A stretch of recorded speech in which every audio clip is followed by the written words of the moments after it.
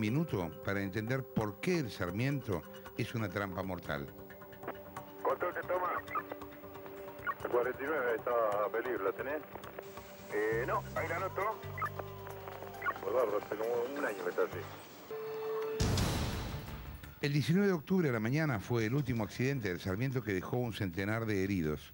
Aunque parezca increíble, esa misma tarde, con todo el sistema de alertas desplegado, las comunicaciones seguían demostrando la precariedad del servicio. Depósito Metomal 64, estoy instalaciones Ciudadela. Primero, un conductor alerta sobre el faltante de varios centímetros de vías en la entrada de la estación 11. Sí, ahora sí, dígame, señor, buenas tardes. Buenas tardes, Carlito, te informo, mira, entramos al andén número uno. Ahí el conductor Roldán no se puede comunicar porque no había señal. Y hay un faltante más o menos un poco más de 20 centímetros y el cuerpo muy fuerte. Carlos, ¿dónde está el tema esta del río roto que falta 20 centímetros? 150 metros antes de entrar eh, a la plataforma vía 1. Después, otro conductor pide refuerzos de gendarmería porque la barra brava de Independiente tomó uno de los vagones de su formación. 11 para el tren de Andén 5. Escucha. Se subió la barra brava de Independiente al tren y solicito acompañamiento policial, por favor. Imagínate ahí arriba del tren, en el mismo vagón que los barras y sin nadie que interceda.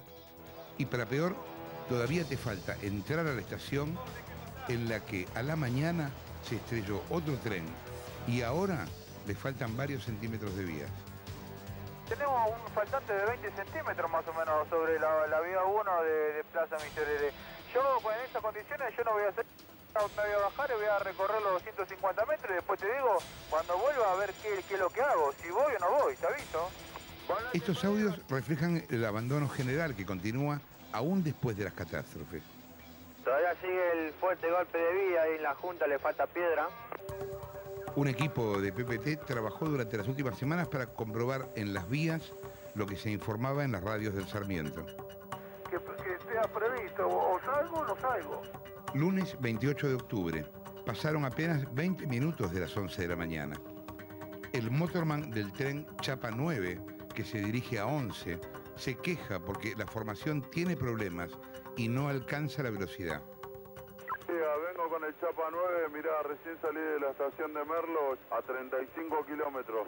No pasa los 40 y no, no desarrolla nada. Dale, listo. ¿Con qué número de tren venís, dijiste? Chapa 9, eh, te aviso cuando estoy llegando. Como si caminara con pasitos cortos sobre el riel, el Chapa 09 entra en la estación Castelar. El problema empezó en las estaciones anteriores y el conductor reclama ayuda. ¿Me copias? Sí, te escucho. El Chapa 9 eh, no desarrolla nada. Mirá, estoy llegando a la estación de Padua, así que vamos a ir, vamos a, a parar ahí en el depósito y vamos a ver qué hace para que vaya sabiendo. Ahí en 11 me lo van a dar. Problema de desarrollo.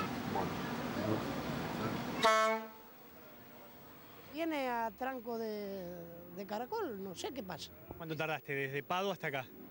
Y más de 10 minutos, 15 por lo menos. ¿Cuánta renovación pudo tener el Sarmiento en los últimos años? Nada.